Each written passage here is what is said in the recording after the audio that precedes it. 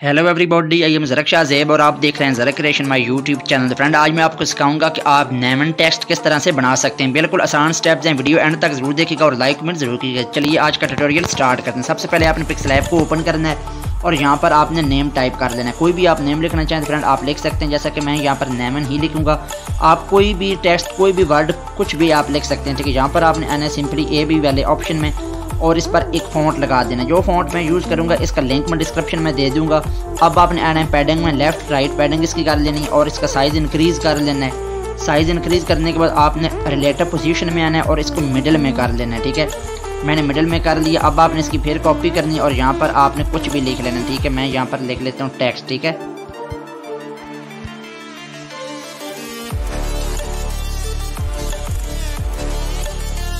Friend यहाँ पर text मैंने लिख लिया, फिर आपने ए बी वाले ऑप्शन में आना और इस पर एक डिफरेंट फॉन्ट लगा देना है, ठीक है? मैंने ये वाला लगा लिया है और इसका साइज़ जो है ना, इसका बिल्कुल कम कर लेना है साइज़ ठीक है साइज़ आपने बिल्कुल कम कर लेना है। ठीक है साइज़ आपने कम कर लिया, अब आपने करना क्या है? अब आपने जो टेक्स्ट है फ्रेंड इसका कलर आपने कर लेना है ब्लैक और ये टेक्स्ट वाला, इसको भी आपने ब्लैक कर लेना है, दोनों वर्ड का कलर ब्लैक कर लेना है। और अब आपने नेमन पर क्लिक कर देना और आपने सिंपली यहाँ पर स्ट्रोक में आ जाना। स्ट्रोक में आने के बाद आपने स्ट्रोक वाइट कलर में रखनी है और सेवन पे रखनी है, ठीक है?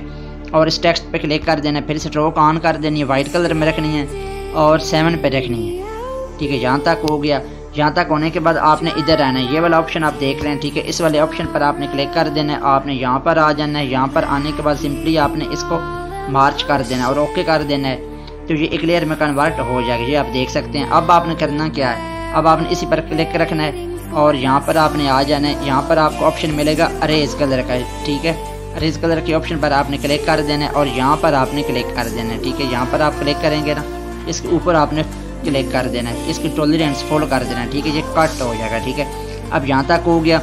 यहाँ तक होने के बाद फ्रेंड आपने करना है क्या? आपने सिंपली यहाँ पर एक बैकग्राउंड ऐड कर देना है।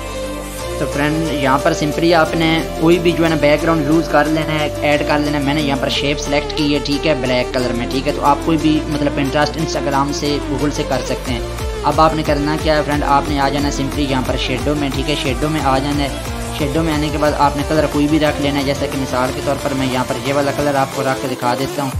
ठीक है, ये रेड वाला कलर आप रख सकते हैं ब्लू रख सकते हैं, कोई भी मैं यहाँ पर ग्रीन रखूँगा और इसका ब्लार 25 पे कर दूँगा, ठीक है 25 पे कर दिया। 25 पे करने के बाद आपने करना कि आपने सिंपली यहाँ पर फ्रेंड इसकी कॉपी करनी है। कॉपी करने के बाद आपने इसको ऊपर एडजस्टमेंट कर लेना है, ठीक है।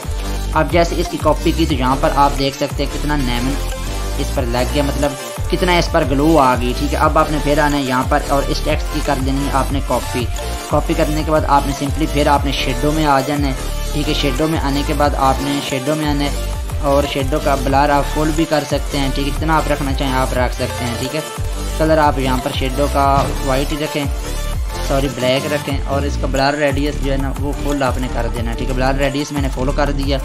ब्लर रेडियस फॉलो कर दो। यहाँ पर इस पर नेमन लग गया। आप इस तरह से एडजस्टमेंट कर सकते हैं। अब आपने इसको सेव कर लेना है। तो फ्रेंड आज हमारे पास ये ट्यूटोरियल अगर ट्यूटोरियल अगर वीडियो पसंद है लाइक शेयर ज़रूर कीजिएगा। Thanks for watching